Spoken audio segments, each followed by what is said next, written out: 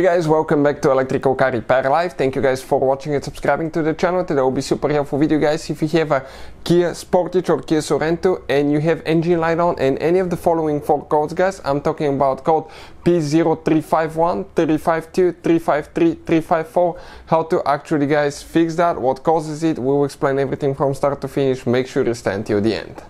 So this should work on Kia Sportage and Kia Sorento different years. For instance, they start using it in early 2012 all the way to 2016-17 depending on the market guys.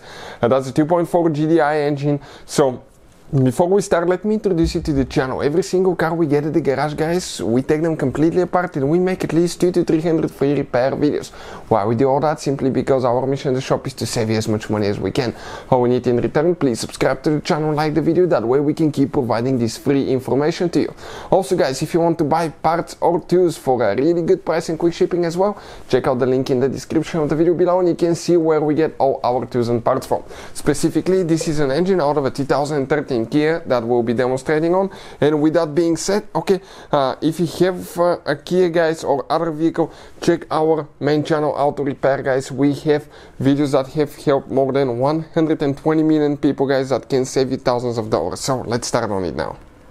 So with that being said guys, okay, let's uh, start on it now. This is the upper engine cover we will need to remove the upper engine cover okay for that repair. So uh, before we do that guys I want to I want to share some information with you guys. Many of you ask me in the comment section below what computer we'll use for diagnostics. This is the one that we use guys.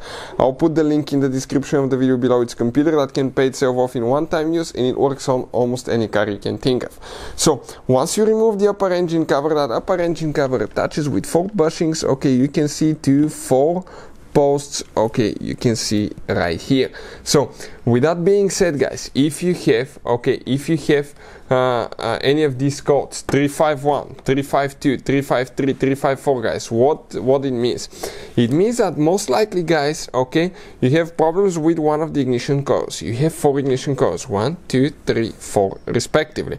Cylinder number one starting from the very first side okay will be that one number one the very first on the left. So, if you have code 351, you have problems with that ignition coils. 352 is cylinder number 2, 353 is cylinder number 3 and 354 is cylinder number 4 respectively.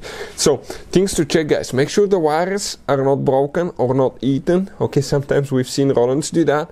Number two guys, check that that safety pin is pushed in sometimes, okay? If it's left like that, your ignition coil can get loose guys. Uh, another thing, okay remove the remove the uh, okay the connector inspect it to make sure okay everything's good you don't have anything bent and if all that checks out fine most likely you have bad ignition coil. Now what you can do to find out if it's a bad ignition coil let's say you have a code 352 what I'll do I'll put the number 2 ignition coil on cylinder number 1 and if uh, reset the codes and if you get a code 351 it means that you have a bad ignition coil swap them and see if the code changes. Now inspect for engine oil as well guys because you may have leaking engine oil from the valve cover when you remove them and if that's the case you need to remove and replace the valve cover gasket that will have a complete video how to do that. Thank you for watching guys and see you next time